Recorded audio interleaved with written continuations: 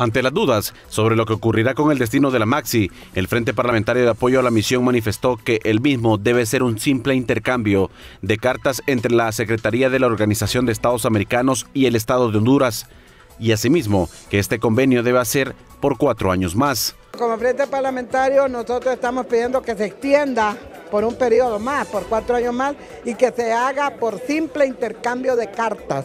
No necesariamente tiene que ir al Congreso Nacional. El convenio con la Maxi finaliza el próximo año y se han generado una serie de dudas que ponen en evidencia la intención de la clase política en no renovarlo. Yo creo que además de ser la vía factible, es la vía que establece el convenio. En el artículo 16, numeral 2 del convenio, ya dice expresamente que se eh, renovará, se renovará por el simple intercambio de notas entre los firmantes. ¿Y quiénes son los firmantes? Por parte del Estado de Honduras es el Poder Ejecutivo y por parte de la Organización de Estados Americanos es la Secretaría de, de esta organización.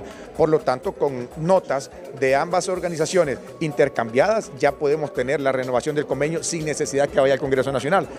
¿Por qué? Porque ya llegó al Congreso Nacional. El Congreso Nacional ya lo aprobó y aprobó ese artículo 16.2 donde establece cómo se va a renovar. Y la renovación a nuestro criterio debería ser por cuatro años. El convenio de la Maxi entró en vigencia el 19 de abril del año 2016 y vence el 19 de abril del 2020. De ahí la necesidad de muchas de las organizaciones de sociedad civil en unirse en bloque y pedir la ampliación, que según el acuerdo es prorrogable. Así lo dice, que simplemente una carta del Ejecutivo a la OEA y se puede extender el periodo sin necesidad de que vaya al Congreso como lo plantean otras personas.